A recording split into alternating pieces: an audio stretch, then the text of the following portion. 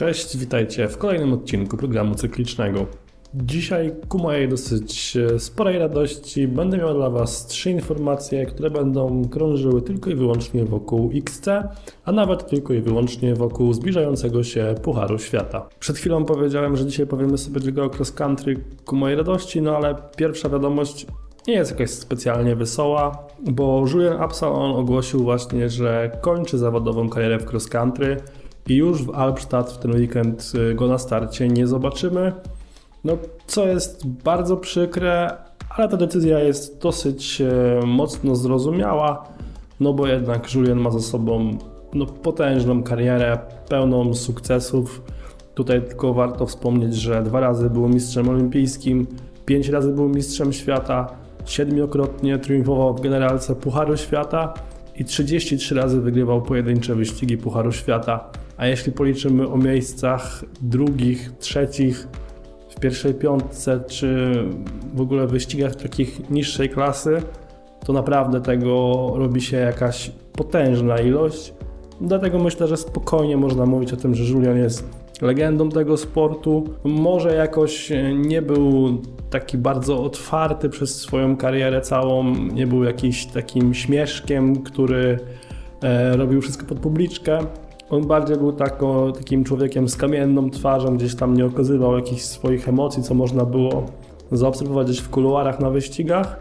No ale mimo wszystko tutaj dla niego jest ogromny szacunek, bo wniósł do tej dyscypliny no, potężną ilość emocji i sportowych wyników i wywindował poziom cross country na wysoki, wysoki poziom, a jego rywalizacja z Ino Schurterem czy wcześniej z innymi zawodnikami no na pewno przejdzie do historii tej dyscypliny.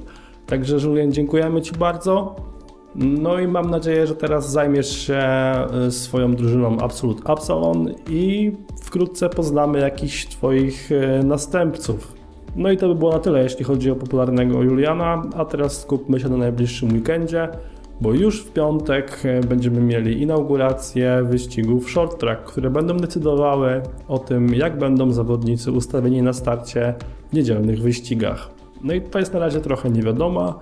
Wszyscy mamy nadzieję, że te trasy będą odpowiednie dla wszystkich zawodników, że będą jednocześnie i szybkie, e, szerokie, ale też bezpieczne i w miarę selektywne.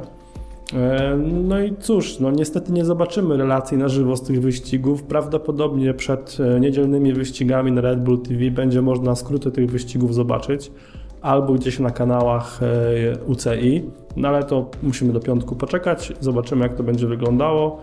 A tak jak powiedziałem, obrazki pewnie sobie zobaczymy dopiero w niedzielę.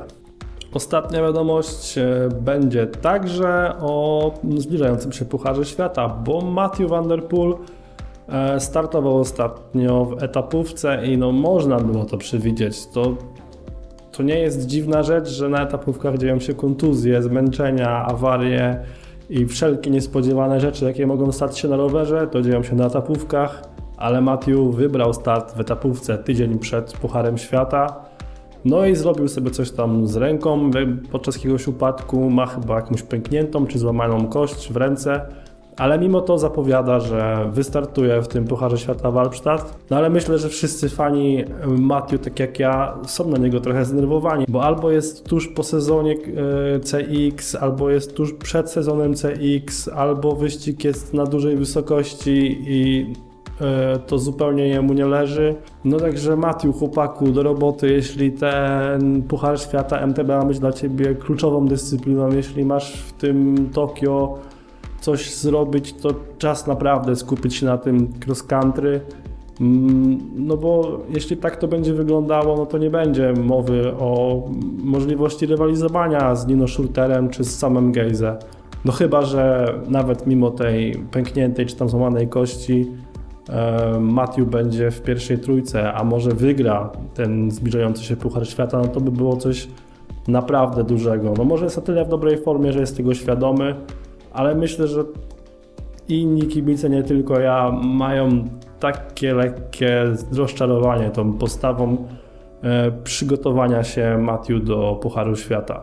No zobaczymy jak to będzie. Ja mimo wszystko za niego bardzo, bardzo mocno trzymam kciuki. To by było na wszystko, jeśli chodzi o środowy program cykliczny. Ja Wam dziękuję bardzo za uwagę i widzimy się oczywiście w piątek. Do zobaczenia.